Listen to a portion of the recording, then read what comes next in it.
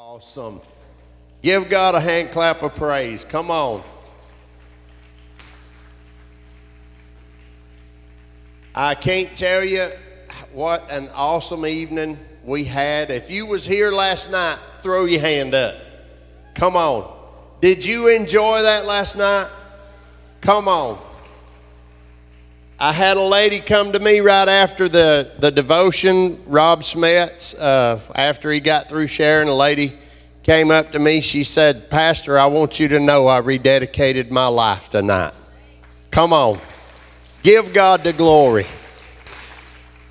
And uh, I'm telling you what an, what an awesome evening it was. And then I want to share this with you Psalms 47. It says, Oh, clap your hands, all you people. Shout to God with a voice of triumph. The Lord Most High is awesome. He is a great king over all the earth. He will subdue, subdue the people. He will subdue the people under, under us and the nations under his feet. Let me tell you, God is awesome. God is awesome. And I am so honored that, that God has uh, given us a place here in Athens and blessed blessed uh, living for the Brand Cowboy Church to be able to make a difference in families' lives. And last night, I saw moms and dads and their kids, and what a blessing uh, it was to get to sow into these people last night. And, uh, and I just can't say enough great things about our great and awesome God. So, with that, give God a hand clap of praise. Yes. And I want to pray for us, and then we're going to ask Mr. Rod to come up here and fill y'all in on what's happening next, because I don't know. Let's pray. Father, we love you. You're an awesome God today. And Father, I pray every day we learn to trust you more, call on you more, exalt you more. God, we want to exalt you high today. Not that we can exalt you higher than you are, but in our life, we exalt you. I pray that over the people today. Lord, that we just learn to give you the glory that is due your precious name. You gave us the gift of eternal life. You paid the price with your son's blood. And through that, we can be redeemed today. God, nothing we can do makes us worthy of that. All we do is take the gift. I want to thank you for that gift today. I pray that that gift would reach every heart in this place that don't know you today, Father, that they would just accept your gift, your great gift, the greatest gift we could ever have. And Father, I just pray that you would bless this service today. I want to thank you for Mr. Doyle, and I want you to bless him, use him mightily for your kingdom's sake. And it's in the mighty name of Jesus we pray. Amen. Come on, Rod. When you get done with this, you hang it back in here. I wanted to tell you what to do. Oh, there's there's you one. You use that one. I'll put this in back. okay, here you go. Miss Elizabeth wants to say something before we get started. Okay, I've got two things. I am holding the sign up sheets for Fall Festival. Fall Festival is Tuesday night. Uh, I have 20 slots that need workers. We have a meeting immediately after church in the West Room. You don't want me to put your name on here because you might get a job you don't like. So come to the meeting and sign up. Uh, and we, uh, we will be working beginning about 10 o'clock on Tuesday, getting everything set up. Also, the ladies have a field trip to Waco scheduled for Friday. If you are going with us, please sign up so we know who's coming. We're leaving at 8:30 whether you're here or not though. Thank you, Mrs. Elizabeth. How's everybody doing today? Good, good. It's, it's pretty exciting to see something like last night, to see people show up but the neatest thing that I like is to hear, to hear somebody share the gospel about Jesus Christ, how that man has been changed. And as Rob spoke about how he can change our life 1% every day. At 100 days, you're 100% change. Amen? Makes me think about do we just exist or do we thrive? I want to thrive. I get I got sick and tired of just existing for so many years. But when Jesus started doing things in my life, I started to thrive. And that's what I hope everybody that was out there yesterday, I hope they leave this place and say, man, I want to thrive. Amen? So I'm going to share a few uh, things that we need to share. How many visitors are here today? That's the first thing. Please raise your hand. These men have come down, they'll hand you a card. Please fill it out and give it to the welcome booth, which is out in the foyer on the left hand side as you leave. And they'll give you a, a, a bag with some cookies in it, which are going to be very, very good to eat.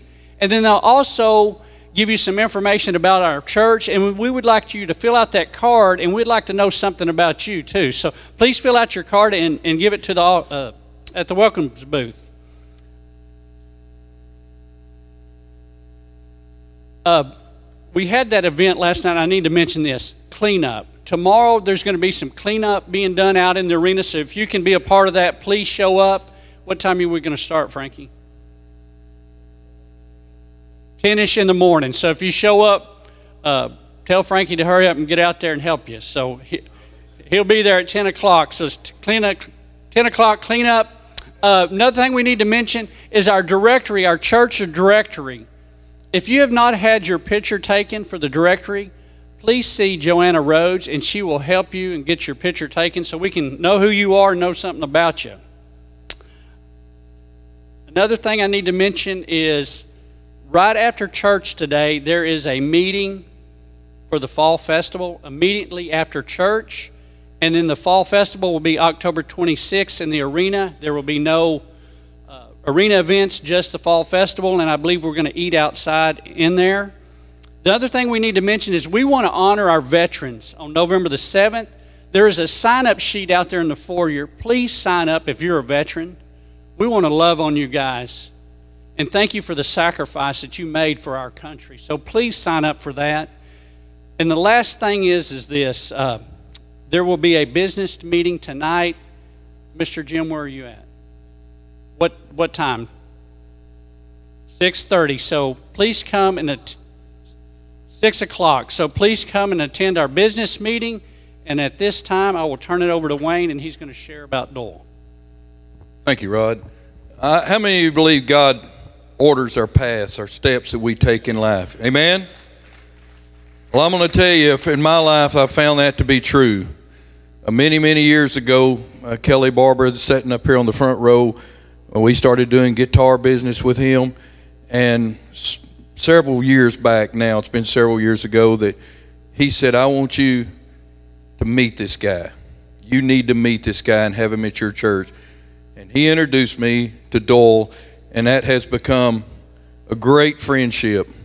Uh, Doyle and I talk every week, sometimes multiple times a week and we it's become like a little family of guys that we've all met uh, through guitars and uh, and I, what a great friendship and what a great man and uh, without anything else to say I'll let his guitar and his talent speak for the rest of it but uh, please give a warm welcome today for Doyle Dykes. Thank you so much. Praise I remember I was over at my daughter's house. And she's got about four dogs, and they're all jumping over, all around me and all. And I hear, I get a phone call, and uh, it was Wayne Jumper. And so I've never forgot your name from that. and uh, he said, "I want you to come to my church." And uh, it's it's well, we'll talk more about that later. He shared a birthday yesterday with my dad. His name's Kelly Barber, and he is the one that introduced us, like you say. Happy birthday, Kelly.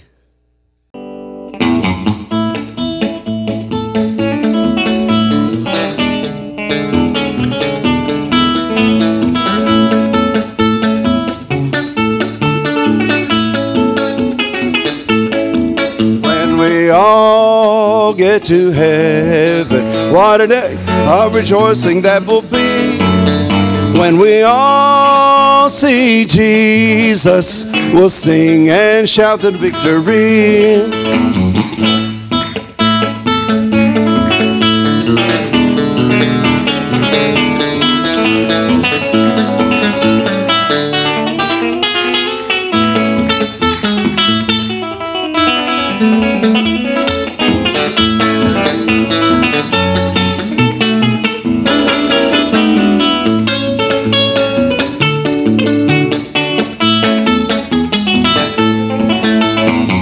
Onward to the prize before us. Soon his beauty will behold. Soon the pearly gates will open.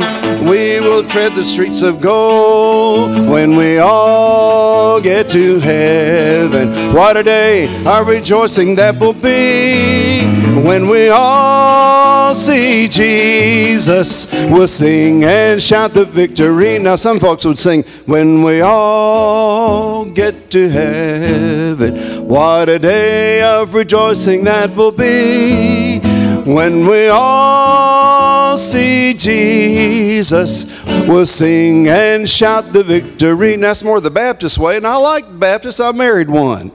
And uh, but that's the way you'd sing it. But my granddaddy was a choir director at our church, and we went to a Church of God, you know, Holy Ghost church. You know, of course, they're all Holy Ghost churches. But he would sing, when we all get to heaven, what a day of rejoicing that will be.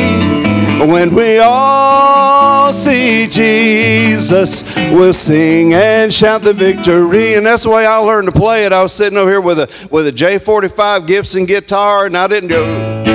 I went onward to the prize before us. Soon his beauty will behold.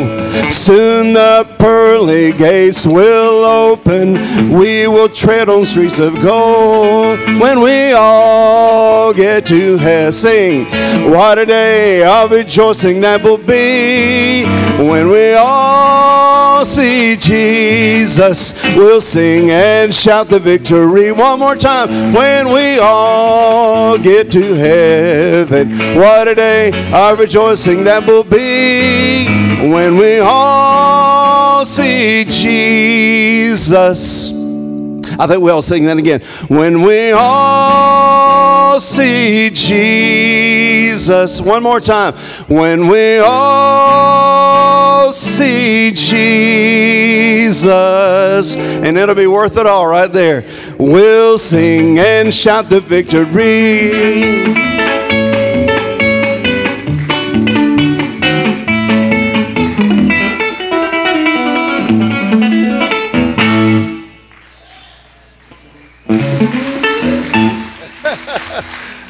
Amen.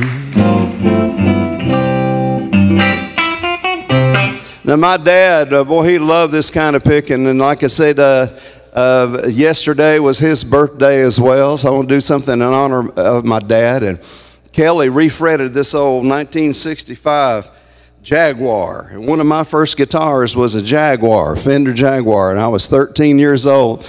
My papa would let me uh, play in church. Play us a song on my Jaguar.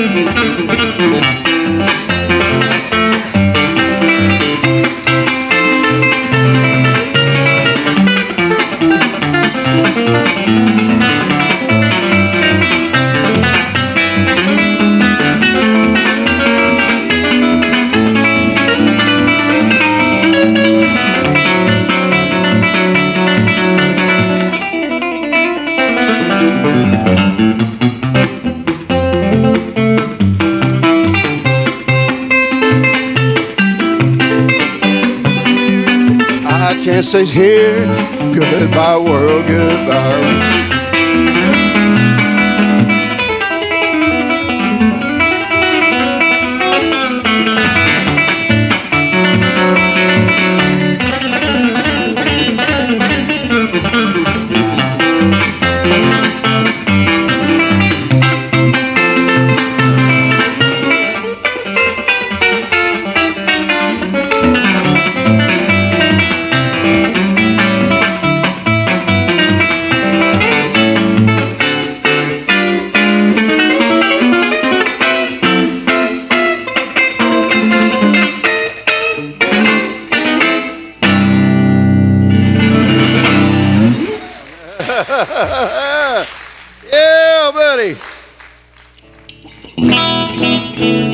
That's the way my dad uh, loved to play. Now, before he died, he was a finger picker.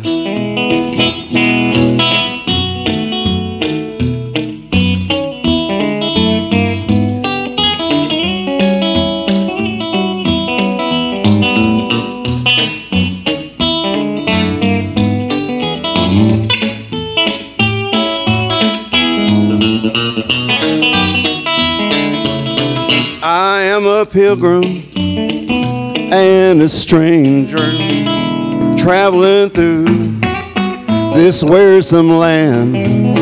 I've got a home in that yonder city, good Lord, and it's not, not made by hands. I've got a father, I think even the Lord knows him as Bubba, who has gone to that sweet shore. I'm determined to go and pick with him again over on that other shore. It's the way he'd play it. Play it, Dad.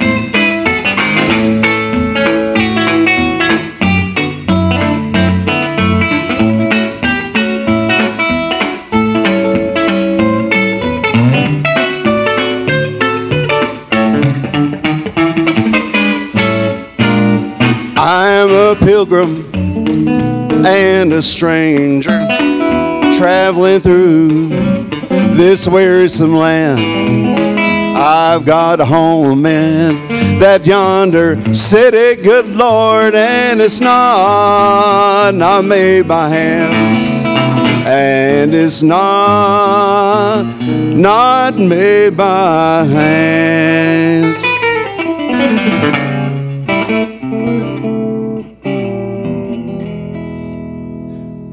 Amen. All right. I was on the Grand Ole Opry not too long ago, and I was honoring Chet Atkins. Uh, he had passed away 20 years ago this year. I'll- Can I play something I played on the Opry? Is that right? This is what I played. It's for you, Ray.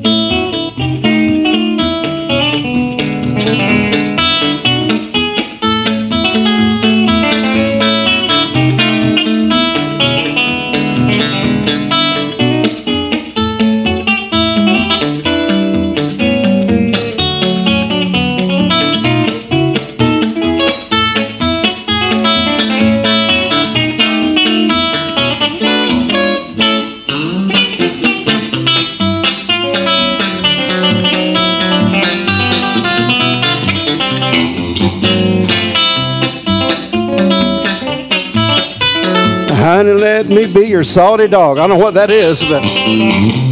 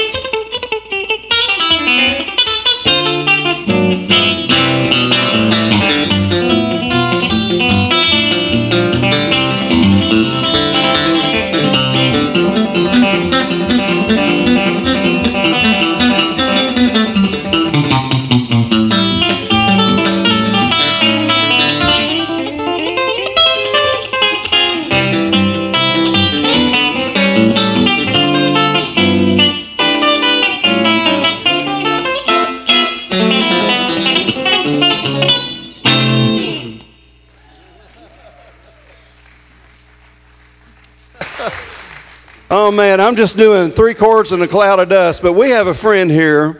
Uh, his name is Ray, and he's a guitar picker, and he loves those old songs. And he asked me, "Did you know a few? Do you know this? Do you know that? I bet you knew some of those, didn't you, Ray?" well, sure. But you may not know this one. Here's a song I played on the Huckabee show a few years ago. And thanks to Kelly Barber, I'm guitar poor. And so, how many have at least two guitars at home? I bet you do. Three, four, six. We better stop there. Somebody might get in trouble.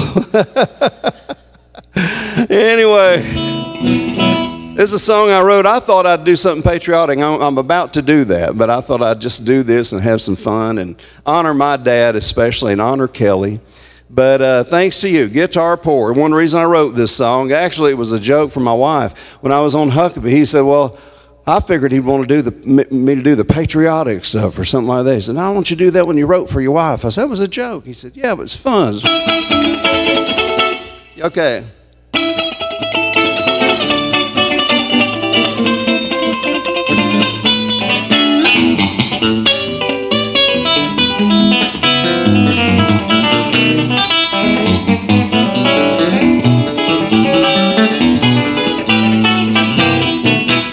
Well, it all started back in 65. That's when I first realized I wanted to do something for my Lord. Just like my daddy and my uncle Smitty, I love guitars. They sounded so pretty, and I knew that's just what I was looking for. My first guitar was a silver tone. I wore my fingers to the bone. It played so hard, my fingers got so sore. I knew the guitar was for me, it was bound to be my destiny. Ever since that time, I've been guitar poor. I'm guitar poor, guitar poor. Oh Lord, won't you help me? I'm guitar poor, guitar poor, guitar poor. Lord, have mercy on the guitar poor. Well, you might be horse poor or car poor. I got flat top, star shop, steel string, gut string, solid body, hollow body, six string, 12 string, acoustic, electric, and resonators and more. I got cutaways, non cutaways, upper cutaways, flame tops, gold tops, jumbos, dreadnoughts, double loss, triple loss. Man, I'm guitar poor. Guitar poor, guitar poor. Oh Lord, won't you help me? We're guitar poor, Wayne. Guitar poor, guitar poor. Lord, have mercy on the guitar poor.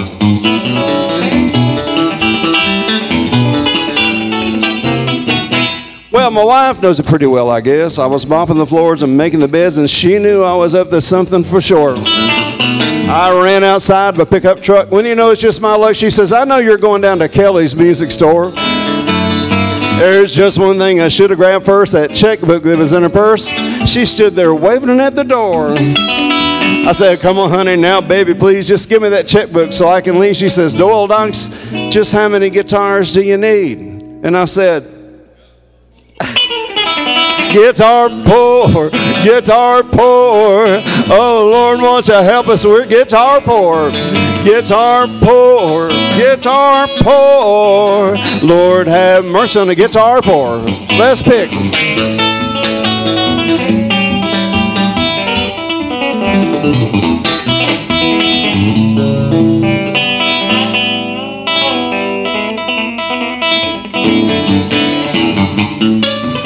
Chet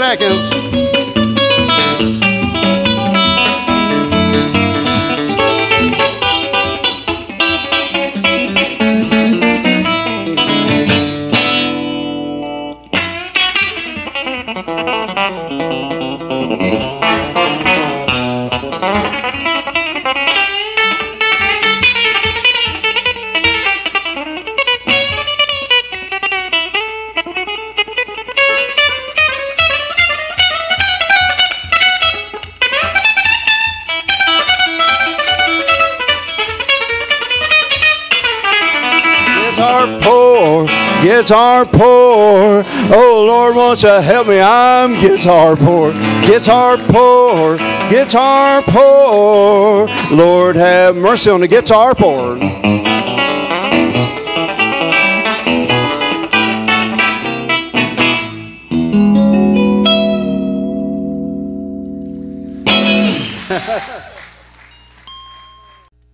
One time I came here and I had old Martin, uh, Pastor Smith, I had a Martin that my my uncle had passed me. His name was well, they all called him Smitty because his name was Smith. and uh, I gave that guitar. I had it here. I gave it to Roy Clark. He had it for 30 years. I was pastoring the church and felt led to go back on the road and God told me, God spoke to me, He said, I want you to give away, give away the biggest thing you have, and I'll take care of everything. And I left that church debt free. And uh, that, that it was an old Martin D45. You know, probably could have sold it and paid the church off, but I didn't. I gave it to him, and he enjoyed it all of it, the rest of his life. His wife said it was his favorite guitar.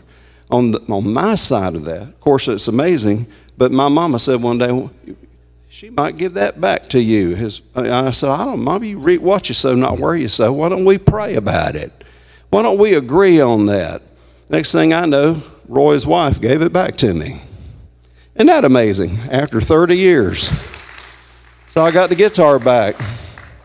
But the one thing, talking about guitar poor, after I gave that to Roy Clark, at that time I couldn't afford to go to your store and buy a thing, Kelly.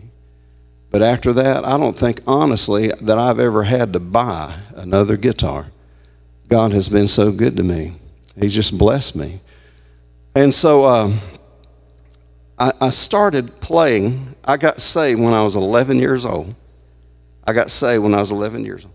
And, and I, I gave my heart to Christ. And I knew in my knower, did you know you can be a child and know that you're a child of God, you've accepted Christ in your heart, you can be a little child. That's how simple it is. My, get emotional. My little granddaughter, Emmy Lou, we just love her. She's the cutest little thing, smart as a whip. I'm a granddaddy. I can brag on her a little bit, but it's my granddaughter. Our youngest granddaughter is getting baptized next Sunday. She's six.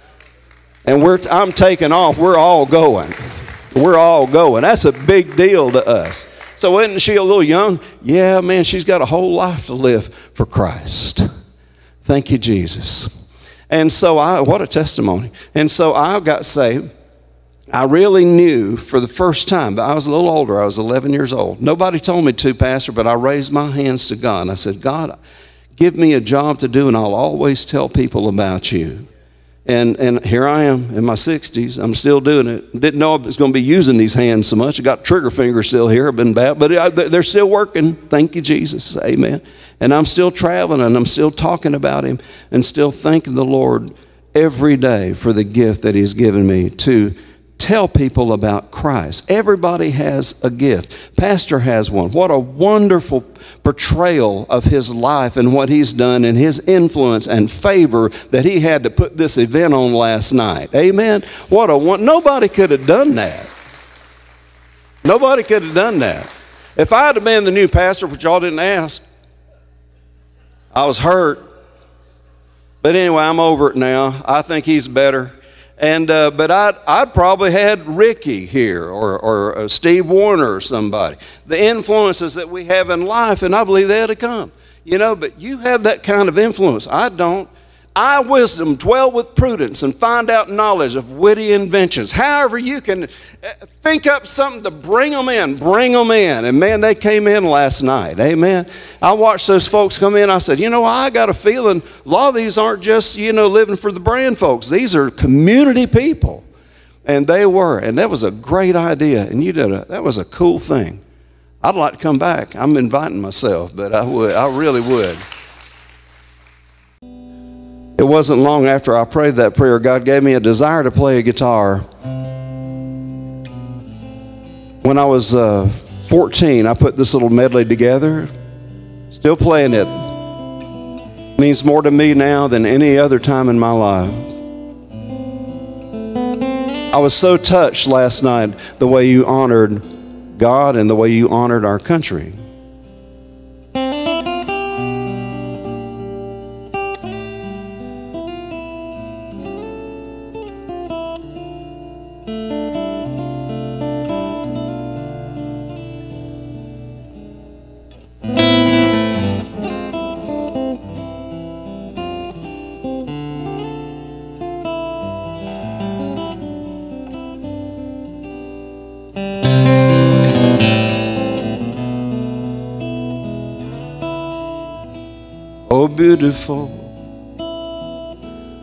Spacious skies, for amber waves of grain,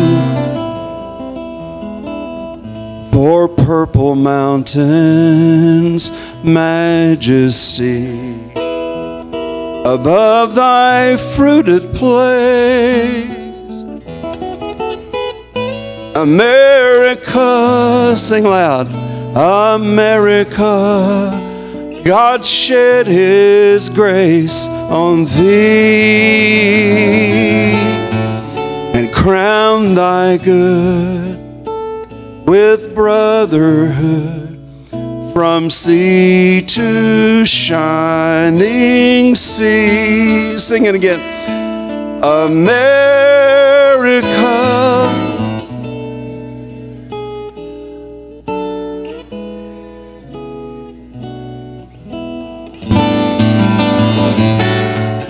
And crown thy good with brotherhood from sea to shining sea. Mine eyes have seen the glory of the coming of the Lord. He is trampling at the vintage where the grapes of wrath are stored. He has loosed the faithful lightning, his terrible swift sword, and his truth is marching on. You still believe his truth is marching on? Still believe that? Glory, glory, hallelujah. Glory, glory, hallelujah. Glory, glory, hallelujah. His truth is marching on. Glory, glory, hallelujah.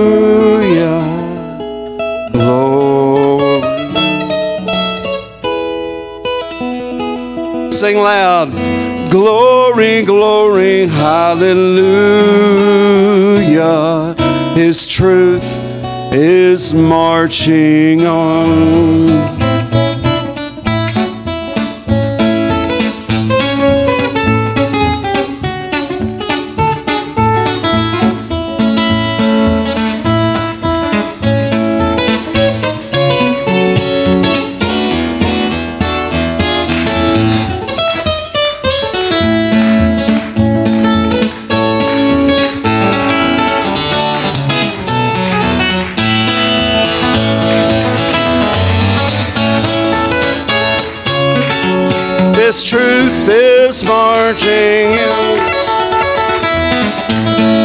Glory, hallelujah.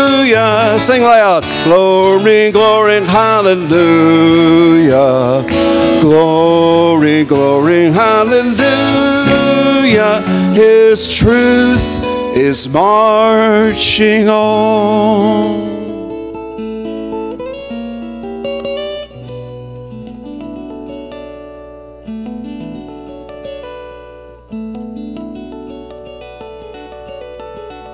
Bless our troops today, our first responders.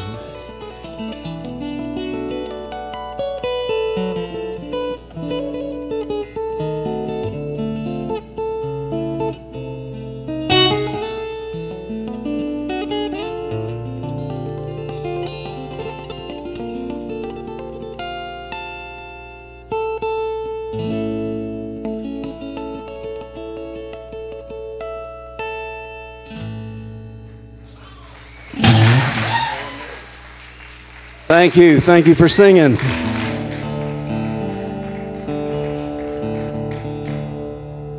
Years ago, I was going to record a worship record, and it just wasn't coming together. I thought, well, that's the most dear thing to me in my whole life is to do something like that. But it just wasn't working. So I called my old buddy Jimmy Capps over Nashville, known him since I was a Grandpa Jones back in the 70s. And uh, I said, Jimmy, I think I think we ought to do a fun record. I was going to do a worship record, but I think I'm ch- switching gears, and, and uh, it's called Country Fried Picking. we still get requests for it. Can you send me that chicken fried picking record? Country, country, country fried chicken picking? What, whatever you call it. Anyway, it's country fried picking. And uh, we, we did it at a, a, Sound Emporium Studios, had some great musicians, really some of the best in the world. Paul Franklin on steel guitar. And Junior would attest to that, wherever you are, Junior. And some really great players. There you are.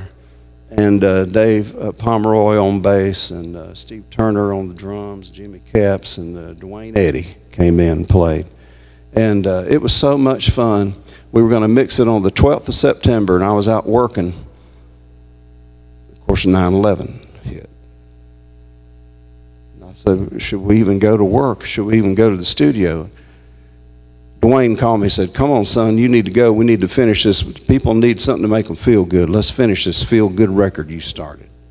And I did. So a year later,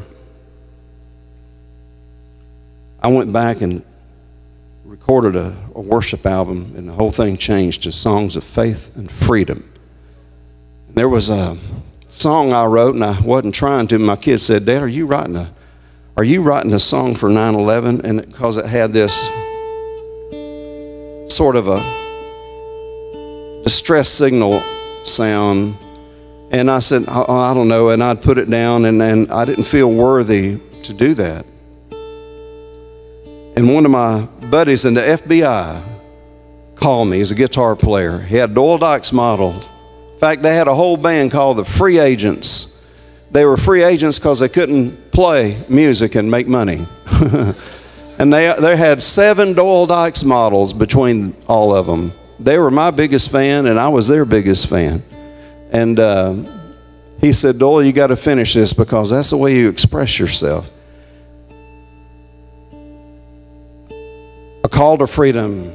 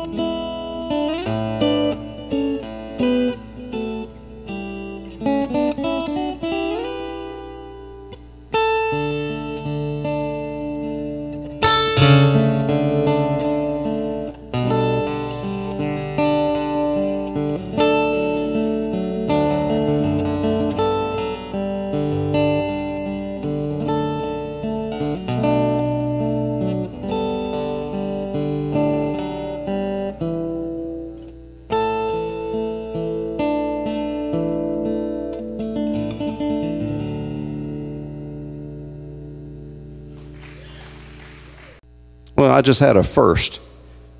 It's never happened in my whole career as long as I can remember. But I broke my thumb pick. It's, uh, it's here. When I was doing that,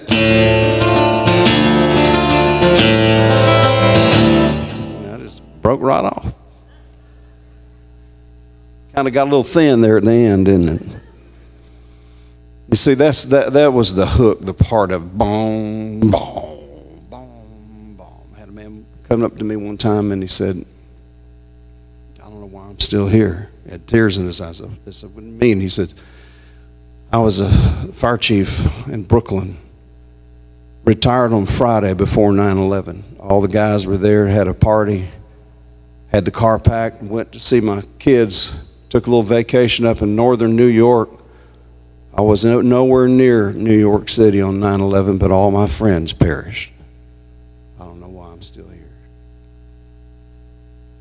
I had another man that told me, he says, I was in the uh, Pentagon. We were watching it on the, on the television. I walked over to get a cup of coffee, and my secretary sat in my desk. We had a whole room full of people. And he said, about that time, the nose of that plane came in in my office, in my very area where I was, and exploded. It said it knocked everything, it killed all those people, but it knocked so much rubble on top of me that it actually, even though it broke a lot of bones, but it saved my life. And he said, I managed to find, a, I asked God to help me. He was a Christian. And he's like a tunnel through it. I could see light, and I crawled out. It took a long time, but there was fire everywhere. I don't know how I'm alive, and I don't know why. I'm still here, and all my friends are gone. Another man in Brunswick, Georgia, he says, I, I came down here to work for national sec- security but I was in the second tower and I experienced the one that, the first one that fell. He said I was on a lower floor on the second tower, managed to get out, but all those people died. I don't know why I made it and why I'm still here. And this very stately man dressed up in a suit stood there and wept. And I just put my arm on his, or my hand on his arm and I, I said, Brother, we can't question things like that. These things are bigger than we are. But you're here, obviously, for a reason. God has you here for a reason. Play one more song.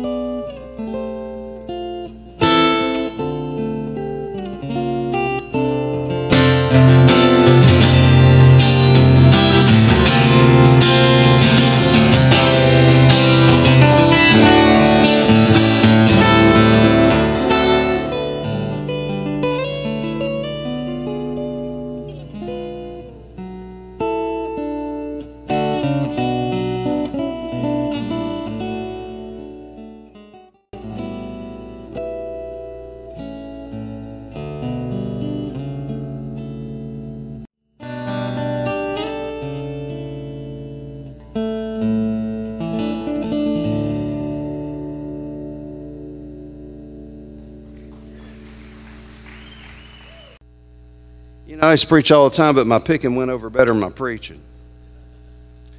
But uh, the Lord laid something on my heart. Y'all enjoying this new normal, by the way? Are you enjoying the new normal? Tom Sills, good to have y'all here today. Thank you. From Michigan, drove they drove down for the weekend.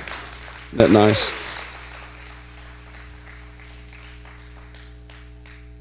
Are y'all enjoying the new normal?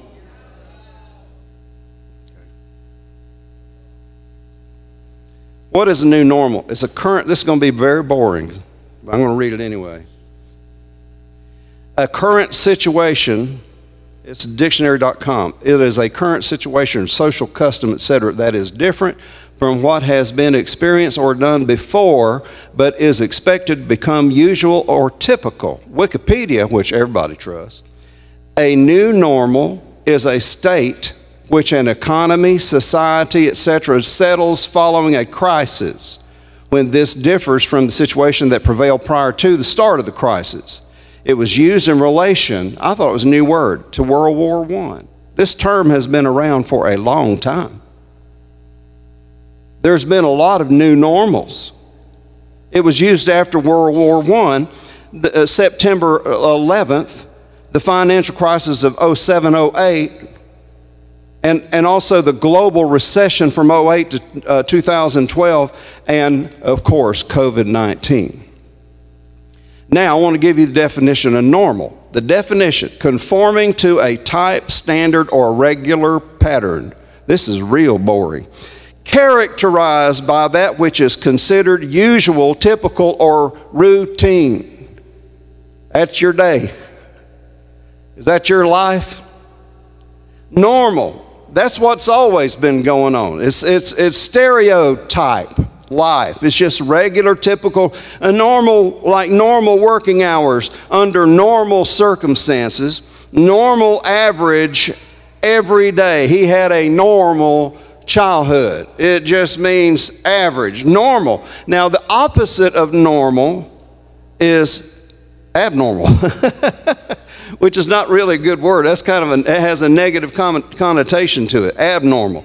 But listen to this the opposite of average is extraordinary. The opposite of average is extraordinary. That's a good word. Amen. Somebody asked Chet Atkins one time, Chet, how would you describe your guitar picking? Oh, I don't know. I guess slightly above below average slightly above below average. Hmm. Of course, we all know that's not true, but that's what he said. Uh, in fact, when you live an average life, years, a few years ago, I laugh at this, but kind of just rubbed me the wrong way, and in a sense, just kind of chapped. You know what I'm saying? And uh, but I was I was up in Virginia, and this guy said, "Well, we're gonna get you on this." Anyway, there was this there was this network, and uh, they said you got to have Doyle on there because he wrote a new book with Moody Publishing, you know, and uh, and they said, yeah, we know about Doyle, but uh, this program, I mean, he just he just ain't got no hook. Don't have a hook. That's what he said. He, and the guy asked him, so what do you mean doesn't have a hook?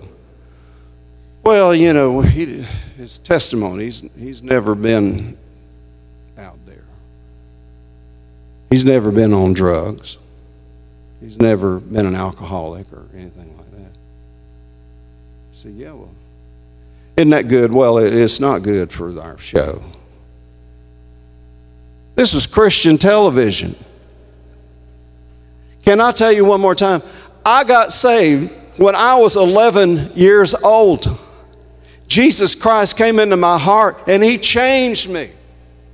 I've never, I want to tell you something. I have been delivered from drugs. And for all you that haven't in a, any kind of addiction, whatever it might be, if God has delivered you, and He will if He hasn't, thank the Lord for that. That's a great testimony. But it's no less testimony for a child like my granddaughter that's getting baptized next week. I hope she never gets it. God delivered her before she ever got into it. He delivered me before I ever tried it. Amen. I'm in the, I've been involved in the music business. I can't tell how many times that I've said, well, how come you don't drink? I don't need to. I, but I, t- I told him, I, one guy not long ago, I said, well, I do. I, he said, well, you're a Christian, aren't you? I said, yeah, I drink as much as I want to. I get drunk as much as I want to. I go out on my wife as much as I want to and still be a Christian. Yeah. I just don't want to. That's the difference. He changed my life. He raised me up to a different level. He that was up here, amen, sat on the throne. He came down to our level basically to raise us up to His. He that was rich, he became poor so that we, through his poverty, might be rich. He came to lift us up to a different level. Amen. When I got saved, I remember uh, I was shy. Man, I, I was. I was raised on the other side of the tracks. I was raised in the city. I always dreamed of, of having a horse. And, and I love cowboy stuff from the time I was a kid because of my Uncle Doyle. I mean, had, I still got a room full of Roy Rogers stuff and all kind of horse stuff, but I never had a horse. Never had one. I bought a Horse for Dummies book one time and I thought, good Lord. I ain't got time for him and he ain't got time for me. That ain't, that ain't fair for me or the horse. But I love them. I've always loved them. I had a buddy of mine, he had a Jaguar just like mine. He lived on the west side of Jacksonville. I lived in the inner city. And after church, between services, because we had Sunday night, I'd go over to his house and we'd play our Jaguars and go in. And he had a horse, an old paint, and I got to ride him. And that was and Tim Hicks. I was with him just a few days ago. He's a pastor down in South Georgia. He's still one of my good buddies. Praise the Lord. In fact, I gave him that that uh, Jaguar that I got from you. I, I presented it to him the other day. It looked just like the one he had when we were kids. Isn't that a blessing? Praise the Lord. But what you know, I didn't have. So I didn't have. I had no hook, huh? Okay. But uh, there was a talent show in the eighth grade, and I, I went out for it.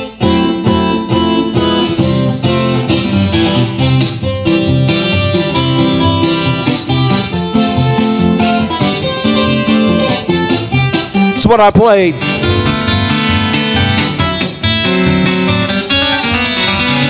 That's pretty good. Any kid in the eighth grade that could do that?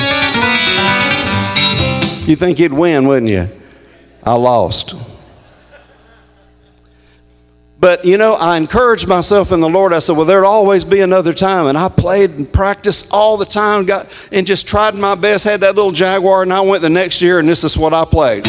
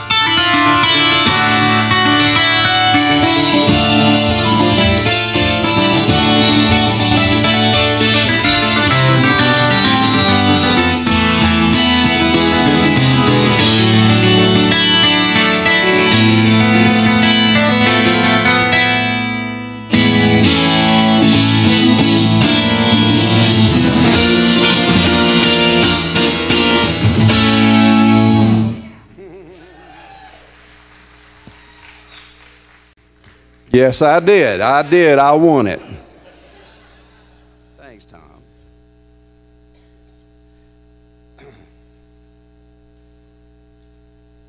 The thief comes only in order to steal, kill, and destroy. We know that. He didn't say anything more about him. We know what the devil can do. We know who's brought on all this. Everybody blames on the Chinese or whatever. I think they have a whole lot to do with it. But I've been to China. And I want to tell you something. I've felt the anointing and the power of God in China. I've laid my head on a pillow and put my hand on the other side on another pillow. And I said, Lord, I'm a long ways from you in a communist nation. But I thank you that you are here with me. You know, there's one thing about being homesick, which I was, but I was not lonely because I was not alone, and I knew that. I got up, in fact, wrote a song called Peace Over Shanghai. It's been one of my, it's on Country Fried Picking record. You see, I, have experienced a lot of things, and because these people are not your enemies, Satan is your enemy. The thief comes to steal, kill, and destroy. But then, so don't major on that. Major on this. But I came that they may have that they in fact this is the this is the guitar picker's bible y'all know i use the guitar picker's bible did you know that pastor the amplified he said the thief comes on to steal i came that they might have and enjoy life that they might have and enjoy life and have it say have it in abundance to the full till it overflows. That's the normal for us. An extraordinary life, not a new normal. The Bible says, don't be conformed to this world. I used to work for an old preacher who said, this old grizzled gray society that we live in, don't conform to it. Be transformed by the renewing of your minds that you may prove for yourselves what is that good and perfect will of God in Christ Jesus concerning you. Amen. In fact, I wrote that down, and, and this is, I believe, the uh, this is from the message. I like this too. It says, "Be not conformed." So here's what I want you to do. This is Romans 12, 1 and 2 in the message. Here's what I want you to do take your everyday, ordinary life, your sleeping, eating, going to work, walking around life, and place it before God as an offering. Embracing what God does for you is the best thing you can do for Him. Thank God for what He's doing in your life and what He's done. Quit worrying about what's going on in the world today. Amen. Don't be so well adjusted to your culture that you fit into it without even thinking.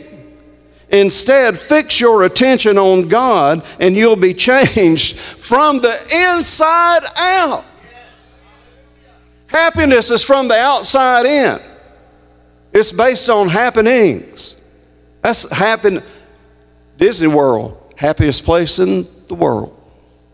It is till you leave. Then you think, boy, that was expensive. I ain't so happy anymore. You see, entertainment, I know what entertainment can do, you know, in, in Vegas and music and, and even rodeos. We know that. That's good entertainment. Thank God it make you feel good.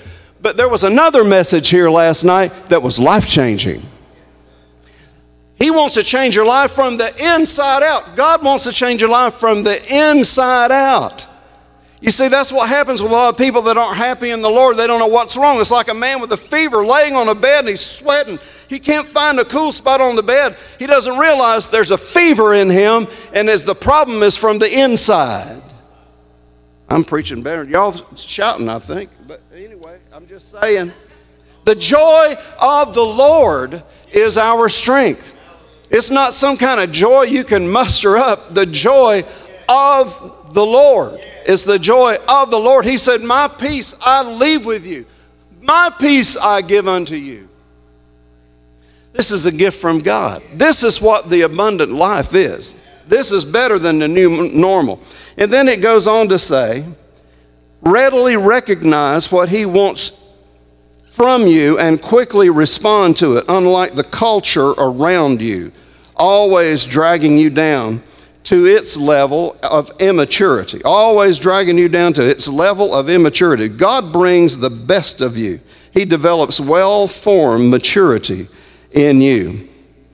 In John 10 and 10, in the message, it says, A thief is only there to kill and destroy, but I came so they, the sheep, can have real and eternal life, more and better life than they have ever even dreamed of. More life and a better life than you even dreamed of. Jesus, again, in Amplified, in abundance to the full until it overflows. I'd rather die of an overdose of life than anything. Amen? And see, well, what do we do? What, what's the first thing you do? Well, what's the, the most important thing in the Bible? There was a young lawyer said, What's the most important thing? Love the Lord God with all your heart, soul, mind, and strength. Right? Who told him that? Jesus did. What's the most important thing in this book right here? He said, on, two, on these two things, on these two pegs, you can, you can hang the, the whole deal. You can hang the whole deal on this. Love God with all your heart, soul, mind, and strength. I used to go to these little churches sometimes and say, well, we love Brother Doyle's guitar picking, but the thing that I like the most is he loves God. I'm thinking, doesn't everybody love God? No, not everybody loves God. Love God with all your heart, with all of your heart, soul, mind, and strength. And then the second is like unto it. What is it? Love your neighbor as you love yourself. But what do you do? So, what do we do to enjoy this life that is more abundant in a new normal? Amen. What do we do? First thing, there was a, a man I used to work with. I loved him so much. He was a barber. He raised hundreds of thousands of dollars in his barber chair and built churches all over the world. He was my co pastor when I was pastoring, then he went on to do mission work. He was a wonderful man. Before he died, the first, the last thing I remember him saying, he said, Doyle, guard your heart. One of the last things Kenneth Hagin ever said, guard your heart. Guard your heart. How do you do that? Well, it's pretty easy. Jesus said in John chapter 14, and I've preached on this before, I'm sure, because God gave me a word from this one time when I was aggravated and just annoyed at something, and I couldn't go to sleep, and I kept thinking about this guy. He's just kind of said something derogatory to my, a friend of mine that schedules me. And I'm thinking, we've done a lot to help these people. How could they have that kind of an attitude? And I couldn't sleep, and I got up and I thought, I know what I'm going to do. I could have said, I ain't going to have nothing to do with him anymore. But I didn't do that. I said, I'm going to forgive him. I'm going to release him. He has no idea who he's dealing with. He just doesn't know that we want to do something to help folks. Amen. He doesn't know that. And so I released him, I, for, I forgave him. I went back to bed and I didn't even get up. I'm old, I get up a lot. I didn't get up. I got up the next morning, I'm thinking, wow, that's the best night's sleep. And the first thing I remember is the last thing I said I forgive him it brought peace in my life. And then right after that, I was riding down the road talking to my brother. I said, You know, you know Jesus said, My peace I leave with you, my peace I give unto you. Don't let your hearts be troubled, neither let it be afraid. I thought, Wait a minute. I said, Aubrey, he's my brother. I said, Aubrey, there's two parts to that. And so I looked it up in the Amplified Bible. He says, Peace I leave with you. My own peace I now give and bequeath to you. That's a lawyer, legal term.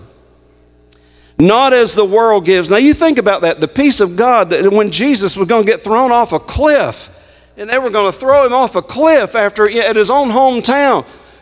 He didn't walk around the crowd. I like what Oral Roberts used to say. He didn't walk around them. He didn't walk under them. He didn't walk over them. He walked right through the crowd and went his own way. That's peace. That's confidence. That's boldness. He said, I leave that with you. I give it to you. I bequeath it to you. And he said this I now leave with you and bequeath to you, not as the world gives, not the new normal, not the old normal. The world doesn't understand it. Not as the world gives, do I give to you. Do not let your hearts be troubled. That's something you control. Don't let your hearts be troubled. Guard your heart. You're writing out. I was, I was at this church not long ago, and we were praying for this guy, and they were praying for me for the service. So before we pray for Doyle in the service, let's pray. Brother so and so has a request. He went to the doctor, he got a diagnosis. So he came up, and I'm thinking, we're all wondering, what did he get diagnosis, diagnosed with? He stood there, he said, Well, lips got quivery. The doctor said, I got stress. I know, I wanted to laugh too, but I couldn't. I'm going, Are you kidding me? Everybody has stress. That was pre COVID. I wonder what he's thinking now. He's probably been long gone. I don't know. I hope not.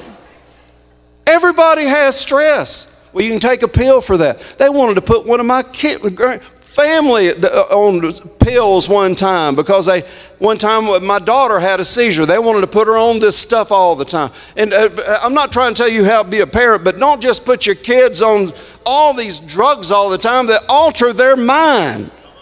Come on i'll give you a pill. Don't let your hearts be troubled. Neither let them be afraid. And then it goes on to say stop allowing yourselves to be agitated and disturbed.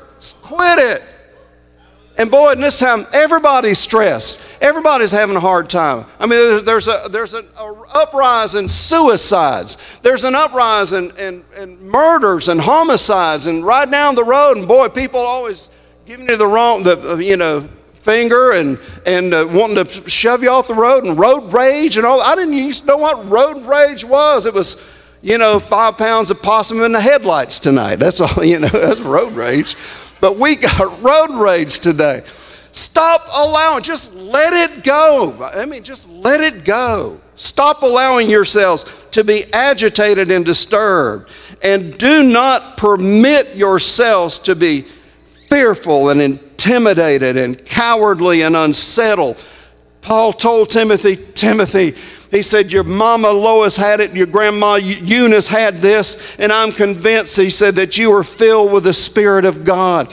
So I encourage you to stir it up, rekindle the embers of it, and fan the fire of the, the flame of God that is on the inside, or the fire of God is on the inside of you. For God has not given us the spirit of timidity or fear, but of power and of love and a sound mind. And it also says in that part, it says full and discipline and self control. But you got to guard it. You have to fan it. Keep the flame burning. Don't let the world, don't be accustomed to it. Don't conform to it.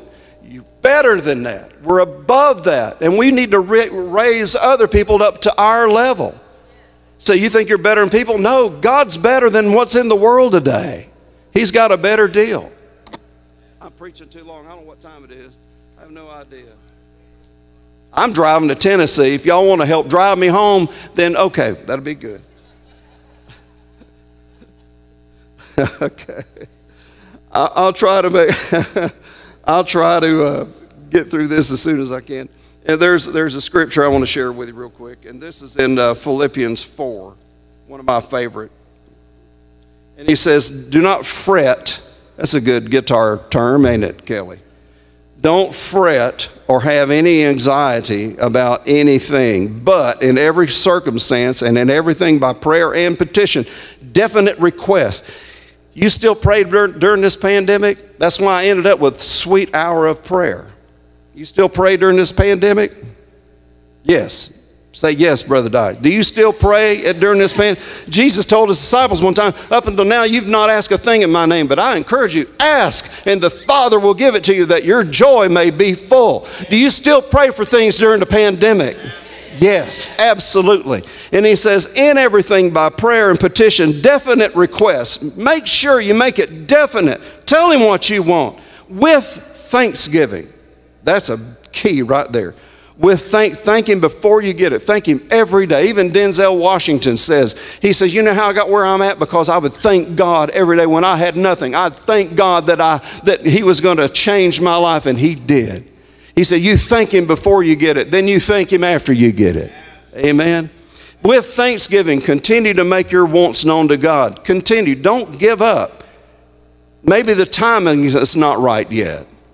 And God's peace, if you do this, God's peace shall be yours. That, that he, the peace of God shall keep your hearts and minds in Christ Jesus. And then he says, Whatsoever things are true, whatsoever things are honest, whatsoever things are just, whatsoever things are lovely, whatsoever things are pure, whatsoever things are of a good report, if there be any virtue, if there be any praise, think on these things. Fix your minds on them. Love the Lord with all your heart, all your soul, and your mind. Guard your mind, guard your heart. And then the next thing is, I think you need to trust God. Do you trust Him? You know what that means? It means to feel safe. To feel safe and trust in the Lord with all your heart. They said it last night.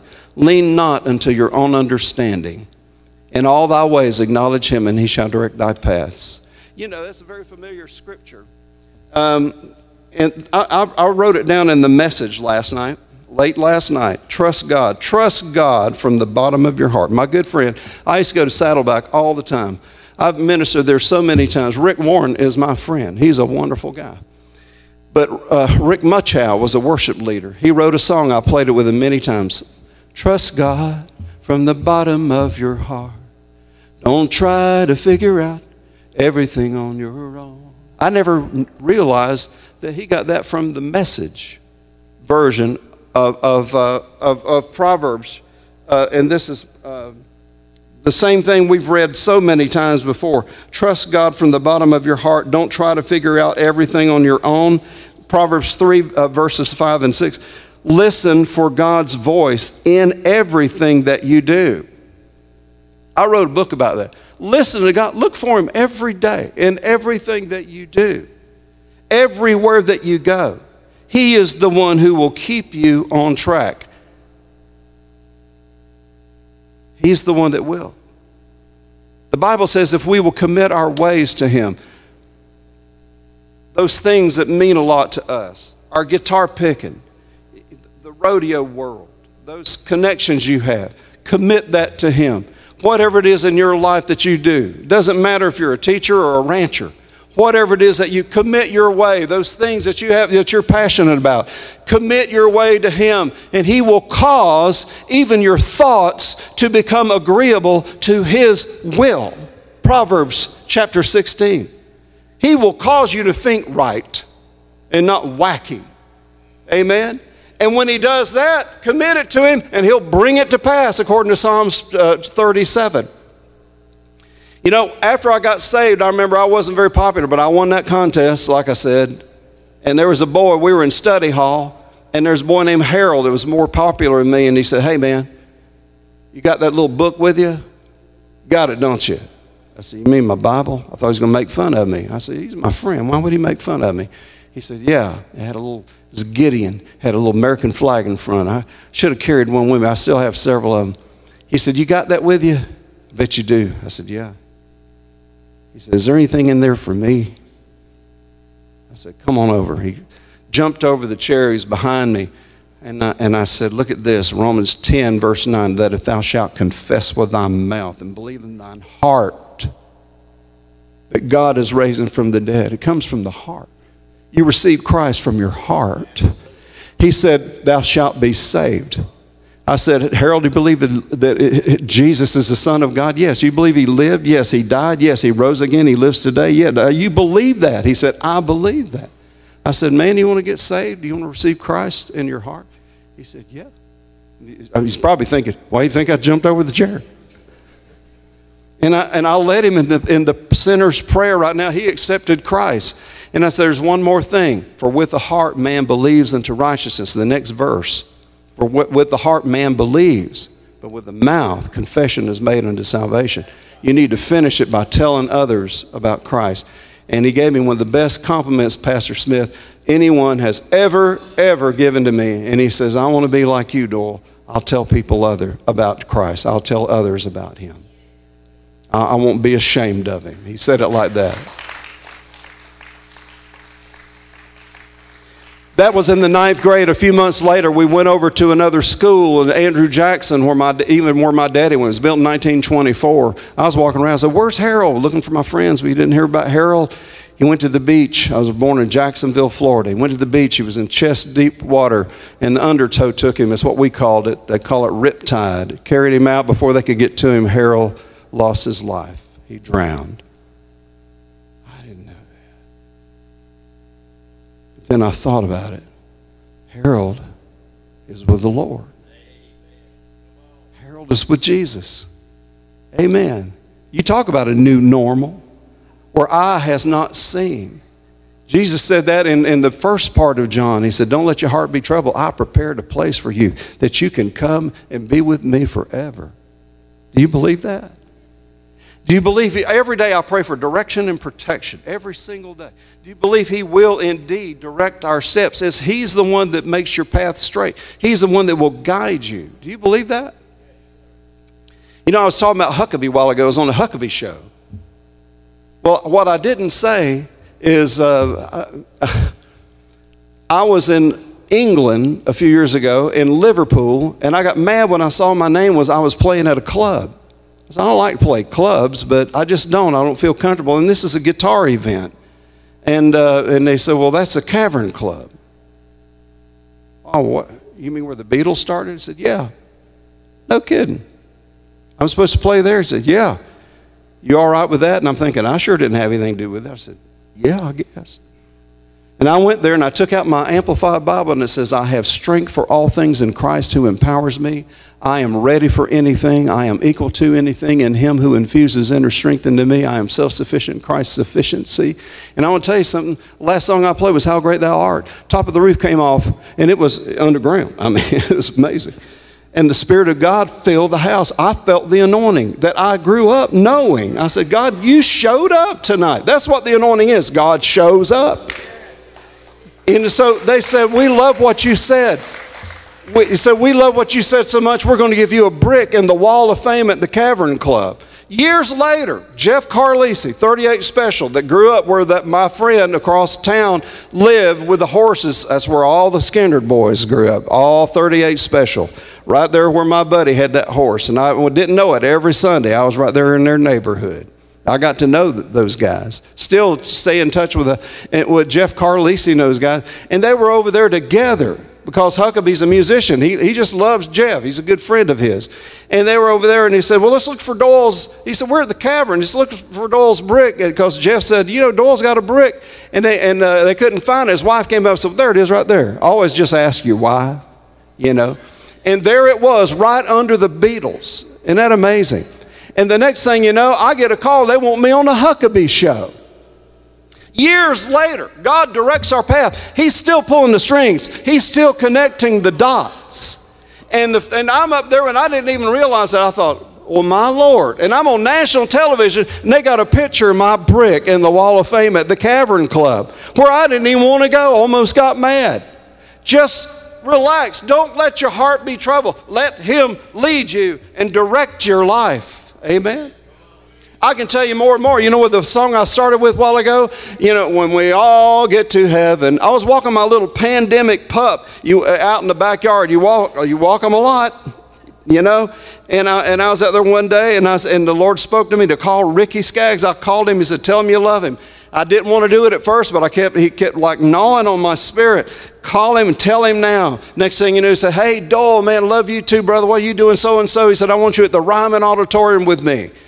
And so I ended up playing at the Ryman with Ricky, and I thought, you know, because it's all about the gospel. And, and uh, the dedication of the Ryman was 1891. I looked it up. What song were they written? What came out in 1891? When we all get to heaven. And I played that during the pandemic when nothing was going on. And praise the Lord, it went all over the world. Amen. God still directs our steps. I was on a plane one time and my daughter says, Well, Dad, I feel led to go to Florida. I said, Well, have you prayed about this? I mean, I've always been involved in her life. And she said, Dad, I went over there and I, and I, and, and I interviewed with this guy named Dr. Henry Well, Dr. Henry was an anesthesiologist and all that. And she wanted to be a nurse anesthetist. And I'm sitting there on this plane. Well, we'll pray about it, Heidi.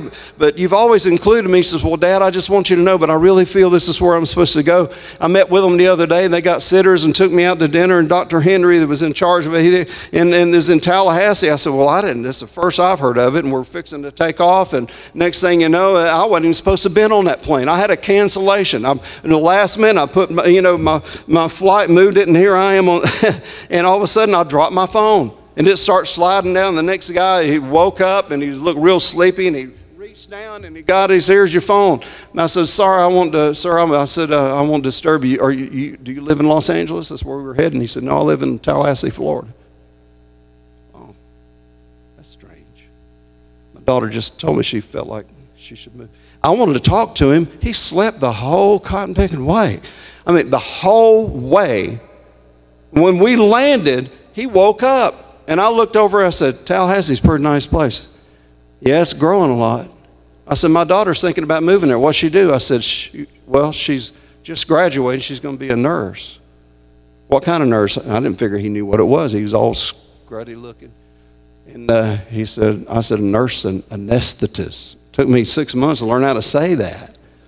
He said, Well, I'm an anesthesiologist. You are? He said, Yeah, uh, in fact, I'm over our group. In fact, he said, Has your daughter been down to interview? I said, Well, she said she went down there a few days ago. She just told me about it. In fact, that was her on the phone when I dropped it. She was telling me about it. He says, Well, I, am the head of our group. He said, There was only one young lady I know of. Is your daughter named Heidi? I said, Are you Dr. Henry? She was talking about you when I dropped my phone. He said, What are the chances of this? I said, I wasn't supposed to been on this plane. He said, Neither was I. I had an emergency this morning. My family's already in. You don't think God's pulling the strings? When they brought that up to the, the rest of the board, they said, We never heard anything like this. We got to hire that girl, gave her $10,000, paid her school off, and moved her to Tallahassee. Woo! Glory to God. That's living above normal. That's living above the new normal. That's living an extraordinary life. Can I tell you one more?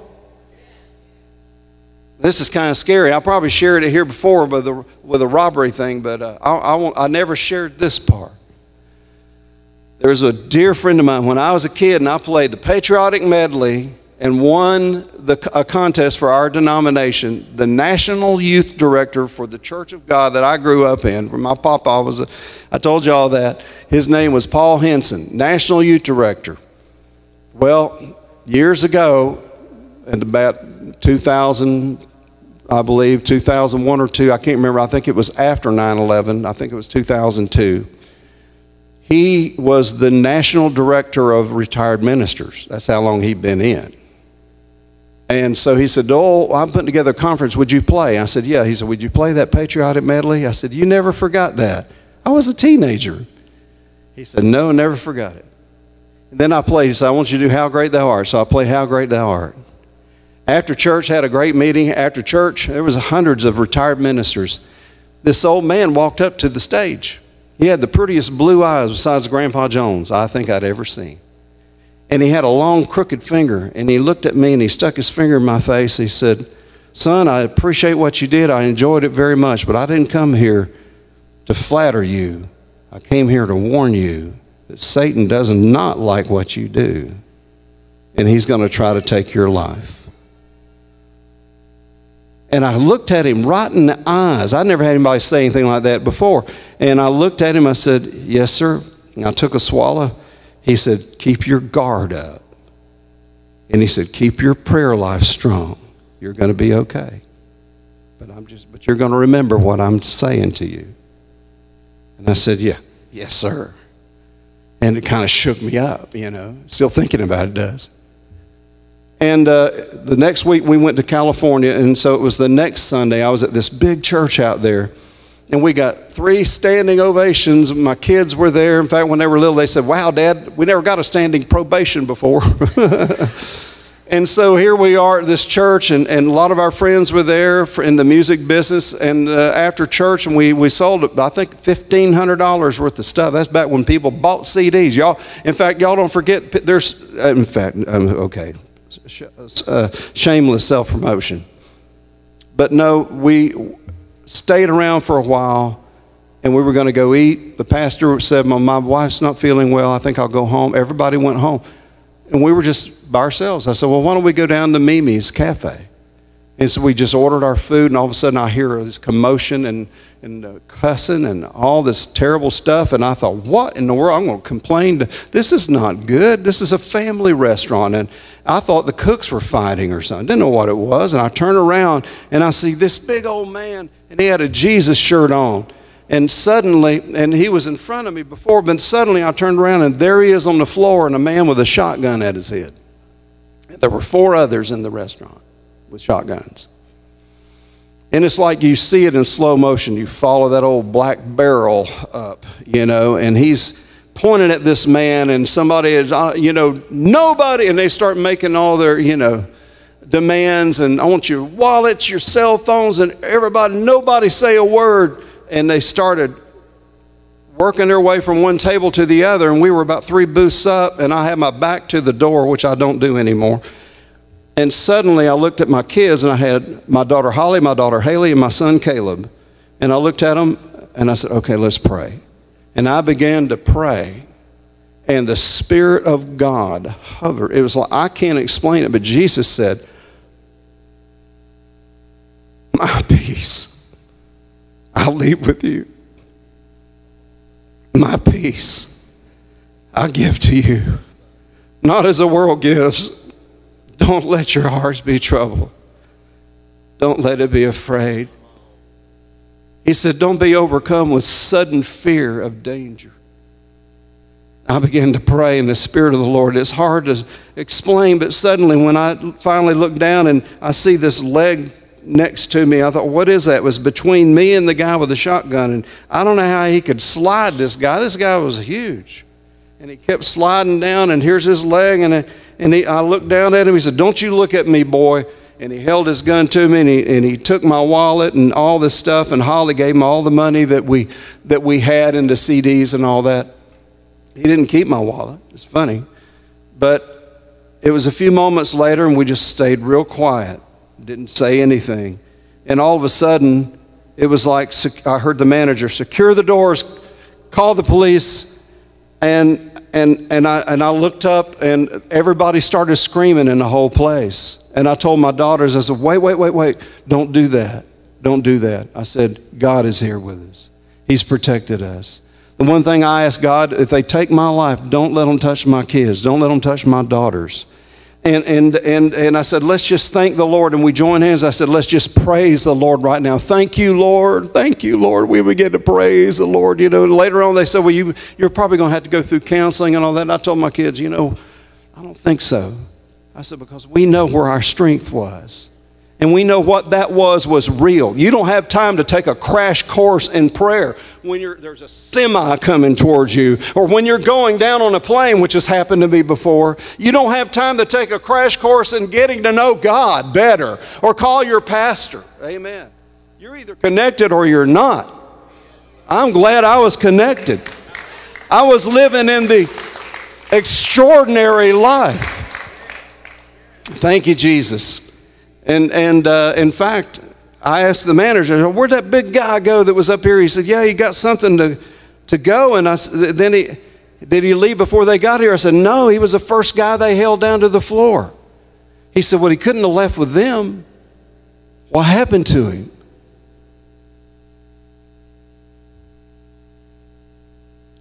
Angels unawares. The little old man with the blue eyes. When I got back, I took Brother Paul Henson to lunch, and I said, By the way, he said, Well, thanks for playing at that. I said, Do you remember there was an old man that walked up to me? He said, Doyle, I thought I knew everybody in, in this denomination. Not because long, many years I've been here. He said, I've never seen that man before. And he says, I went up to shake his hand, and I never could find him. life more abundantly. He said, I come that you would have life and have it more abundantly. Are you connected to Him? Is He pulling the strings in your life? Is He directing your life? Is He showing you what's best for you? Are you allowing Him to do that? Have you received Him in your heart? Stand up if you will. Sorry I went so long, folks.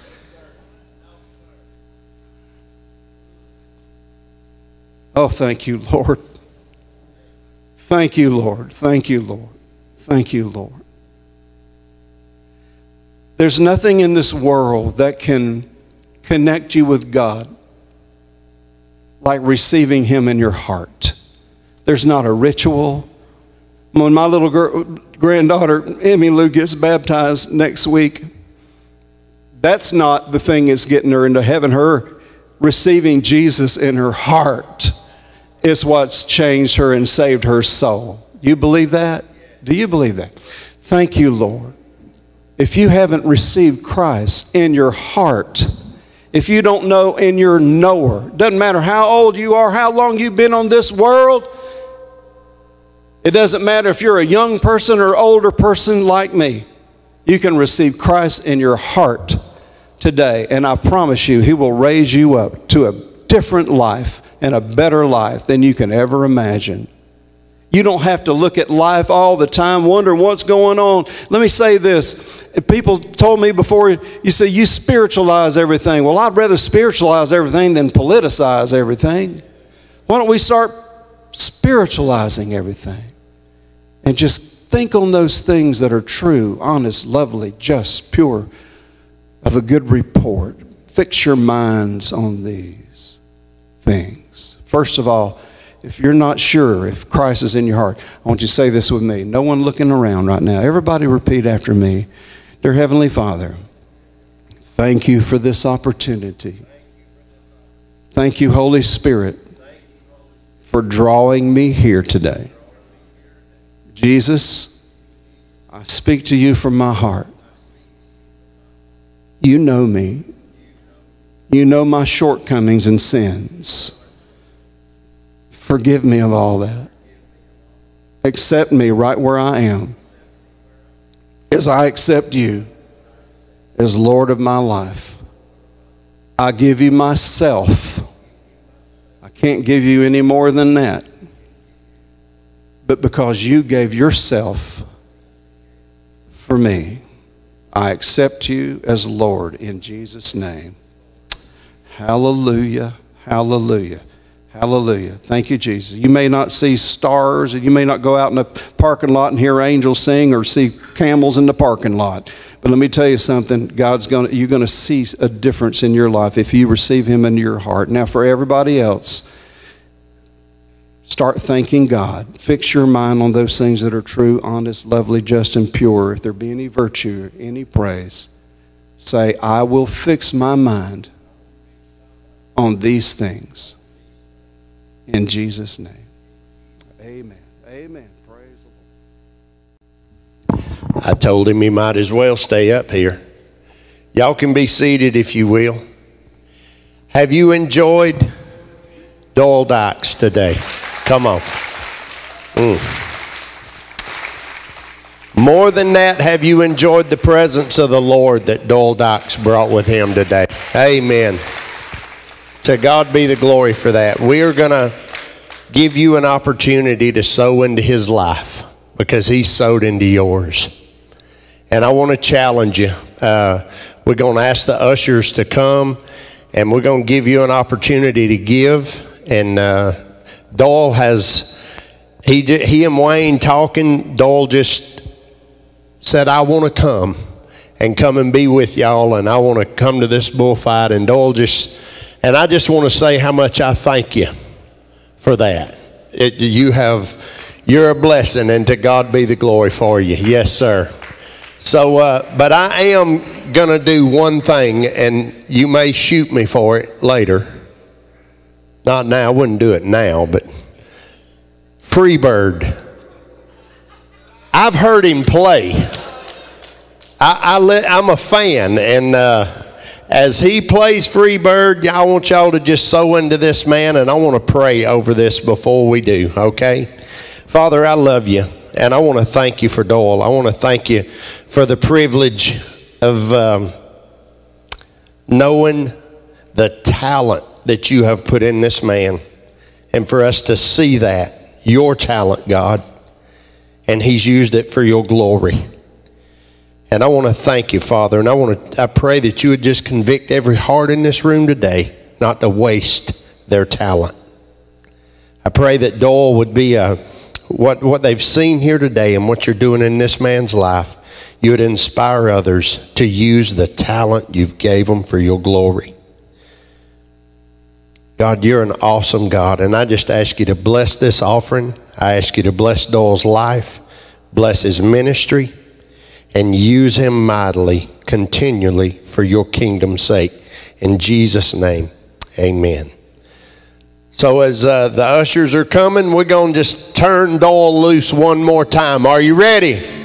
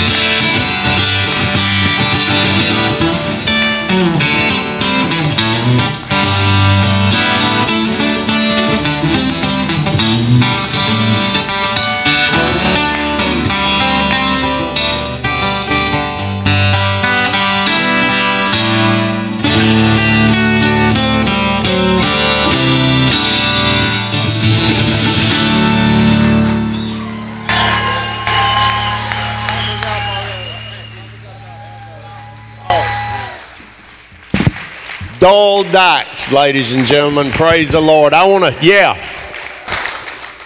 Isaiah said this. This is why I wanted him to play Freebird. And they that wait on the Lord shall renew their strength. They shall mount up with wings like eagles. Renew your strength in Jesus today. I want to pray for you. Go by, visit Doyle at his table, and uh, take some of that music home with you. Uh, I've, I've got to hear that's the first time I ever got to hear that live, but thank you. I wanted to hear it live. So, uh, God, we want to thank you today. We want to thank you for Doyle. want to thank you for him being here, God. I pray your abundant blessing of provision over him, over his family, over his daughter, Lord, and his grandchildren, that they would walk in that life that you have given them, God. Strengthen us as your people, and we will give you the glory for it. Keep us safe in our travels. In the mighty name of Jesus, I pray today. Amen.